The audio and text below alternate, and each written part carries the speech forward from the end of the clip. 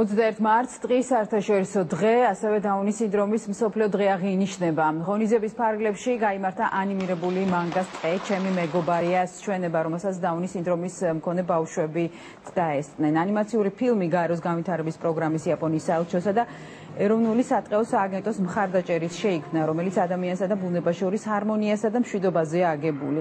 გაეროს განვითარების პროგრამამ გარემოს დაცვის ინფორმაციისა და განათლების ცენტრთან თანამშრომლობით გამოაცხადა ახალგაზრდული კონკურსი ანიმაციის მეორე ეპიზოდის საუკეთესო სცენარისტვის და გამოვიდნენ კონკურსის გამარჯვებულები.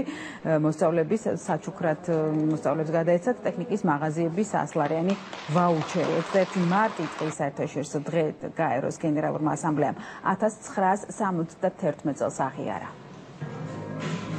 გარემოს დაცვითი განათლება და დღის მნიშვნელობის შესახებ ცნობიერების ამაღლება ჩვენი მთავარი პრიორიტეტია. ადამიანებს უნდა კონდეთ შესაძლებლობა იმჯერონ გარემოს დაცვის საკითხებზე და თავად ჩაერთონ პრობლემის მოგვარებაში.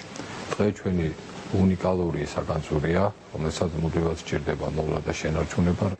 დღე ჩვენი სიმდიდრეა და საქართველოსთვის ამას განსაკუთრებული მნიშვნელობა აქვს, რადგან ქვეყნის ტერიტორიის 40%-ზე მეტი ტყითაა დაფარული. ეს პროექტი მაგალითია იმისა, რომ ტყის დაცვა სიკეთე მოაქვს როგორც ეკონომიკისთვის, ასევე ნებისმიერი ადამიანისთვის. ახალგაზრდების ჩართულობა და აქტიურობა უდიდეს როლს ასრულებს ტყის დაცვის საქმეში. ჩვენი ტყის დაცვის საინფორმაციო კამპანია აგებული იყო იაპონური მანგას სტილში გადაღებული ანიმაციის ინფორმაციის ტყე ჩემი მეგობარიას გარშემო.